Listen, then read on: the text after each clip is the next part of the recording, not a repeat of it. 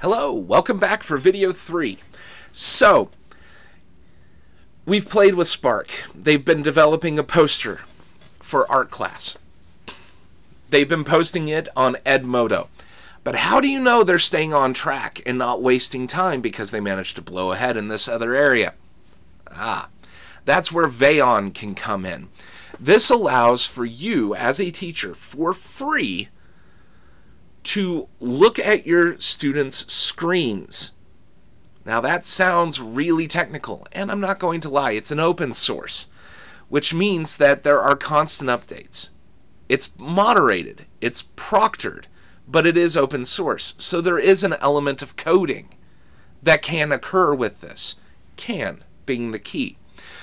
You have to have someone help you set it up. But in the case of my school, while we have one to one computers coming up this next year, we do not currently have them to go home. These are not personal computers, they are one to one school computers. At least that's the idea for the moment. Meaning that I have the ability to do this. Click on my little CBS guy right here. And this is what the screen looks like. Let me put it in presentation so you can see it a little better. So, you have monitoring. Allow you to monitor all the computers at one or more locations. This can even be if they are at home. Notice that. Full screen demos, where you can watch only their screen. Window demo. In this mode, your screen being displayed in a window on all computers. This allows you to show them what you are doing. You can lock their computers, remote view and remote control their computers. Turn it on, reboot, turn it off, log in, log off, message them individually, run a program on their computer, open a website, transfer, and screenshot. It basically gives you invasion control but it allows you to watch what they are doing while they are sitting at their tables, working diligently, communicating with each other. Hey, make sure to stay on track. But you're not calling that out across the room.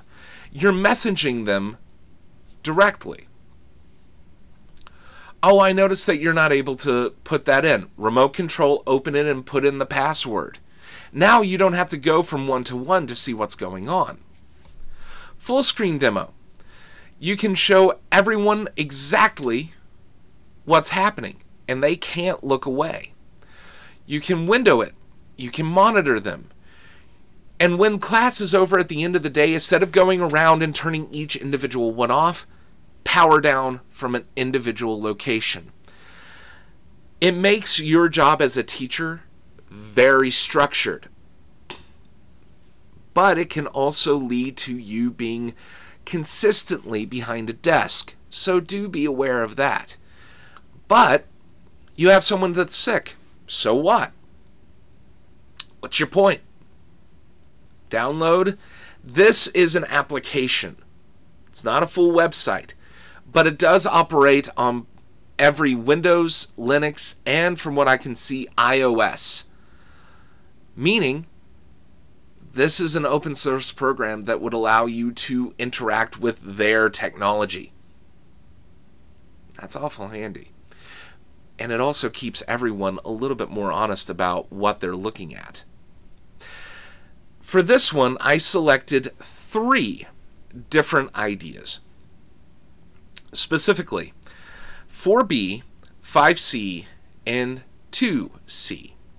With 2C, education stakeholders uh, are engaged in developing and adopting a shared vision, they are engaged and they have to share that vision a little against their will, but it also allows other school personnel to do the same if they have the administrator status.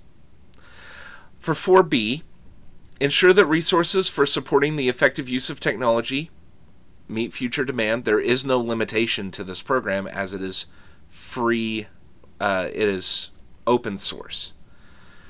And then use technology to regularly engage in reflective practices. Is it working when it's happening. If it's not, on the fly reflection is possible, allowing you to adapt, add in new information, and customize according to what you need. I know this video was a little longer, but this was a bigger program to deal with. Next video, we'll look at, well, so what are you going to send them to look at? See you there.